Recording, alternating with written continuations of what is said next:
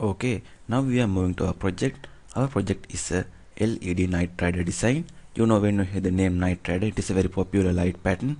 We are going to create using LEDs here. When the, when the circuit is working, it looks like LEDs are moving from to the right side and to the left side continuously. To build this project, I am going to use C programming language. You know that C is a high level programming language so that you can easily understand the syntax of microcontroller programming in C. We use micro C software to implement our project. And before we are implementing or before we are writing the codes, I would like to show the circuit diagram that you have to build for this project. This is the schematic of our project. This is not a very complicated one. This is very simple one. You can build this circuit on a project board or on a Vero board or even you can use a PCB. Here are let's see what are the component of this circuit. There are 8 LEDs connected to the port B. Port B pins of PIC 16F84 microcontroller through 8 resistors. Here I am used 330 ohm resistors to protect the LEDs from the high voltage because you know the microcontroller emit 5 voltage of 5 voltage to the LEDs if you know if you don't use resistors it will harmful to the LEDs and here I am connected the crystal oscillator to the microcontroller. To the correct operation of the microcontroller, it required the oscillator connect outside from the microcontroller. Crystal is a very stable oscillator. You can uh, you can find a crystal oscillator very easily. It is not a very expensive component. And another thing is here I am supplied a DC 5 voltage to the circuit. To the correct operation of the microcontroller, it required clear clearly smooth. To the correct operation of the microcontroller, it required clearly smooth DC 5 voltage. These are the components of this circuit. You can see there are only very limited number of components rather than using the digital ITs, ICs. This is the advantage of microcontroller programming than using microcontrollers. We can use very limited number of components to implement these kind of projects. Okay here is a, in this image you can see a build version of this circuit. This circuit I am built on I built on a Vero board. Uh, here they, you can see there are eight green LEDs connected to the microcontroller through resistors. And this is the IC base. Microcontroller is not connected. This is the IC base. We are going to use to connect the microcontroller to the circuit. And here this blue small component is uh, the is the crystal oscillator and here I'm used the here I used the voltage regulator to regulate the voltage to DC 5 voltage because it is very safe and it is to the correct operation of the microcontroller. It required DC 5 voltage very smooth voltage. Now let's see what are the software that we are going to use in our project. Basically we are implementing this our project using C programming language so that we are going to use micro C to write code and compile the code. And to simulate the circuit here I am using Proteus ISIS professional edition. It is not a requirement it is not a must. You I am using only to simulate this circuit and show you how the circuit is working before we are inserting this code. Insert the compiled version of code to the microcontroller. And IC programmer uh, this small software we are going to use to program the microcontroller. That means to program the microcontroller using the compiled version of our project. Basically you need IC programmer uh, and micro C to implement this project.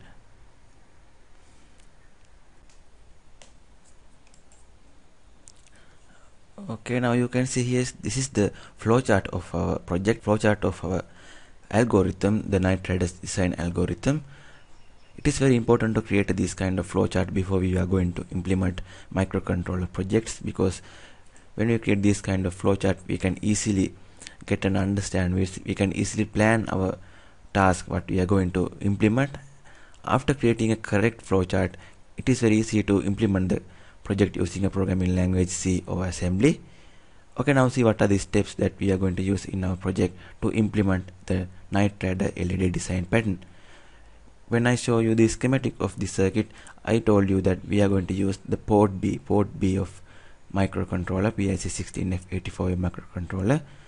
Okay according, according to the, this flowchart the first step of our project is to turn on the first LED turn on the first LED mean we set the zeroth bit zeroth bit of port B microcontroller to the first to the number 1 that means the first LED connected to the port B is turned on.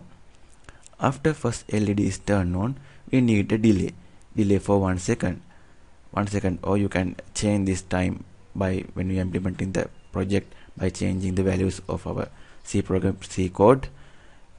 Let's assume that we need one second of delay. After after one second of delay our flowchart is coming to a decision point. Here there is a condition the program check the 7th bit of port B for 1 7th bit is here.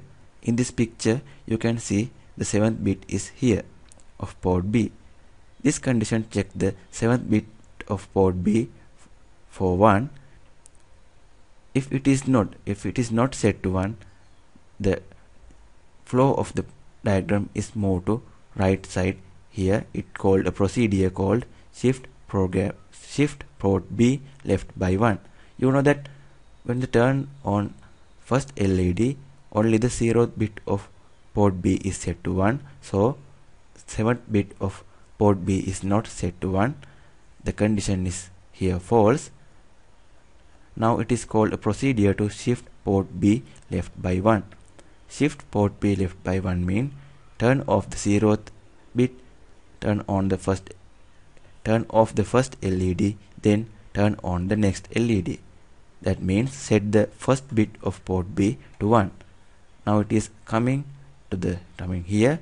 Again it wait for 1 second of delay and again coming to the decision point or the condition it check again 7th bit for port B now you know 7th bit is, still 0 the first bit is now turn, set to 1 the flow of the diagram is again moved to the right side again called the shift port B left by 1 condition. Now turn off the second LED and turn on the third LED again wait for delay and check the condition. You know when the when this condition is looping when this part of the diagram is looping LEDs are moving to the left side one by one. Here there's a moment the 7th bit of port B is set to 1 then this condition is true and the flow of the diagram is moved downward. Now it's called the procedure shift port B right by 1 if the 7th bit of port B is set to 1 it called the procedure shift port B right by 1. What do what is doing by this shift port B right by 1 is again moving the LEDs to the left side. Now the condition is true. The procedure is called shift port B right by 1, turn off the 7th bit and turn on the 6th bit. Again it called a delay after Again coming to decision point, this decision point check 0th bit of port B for 1.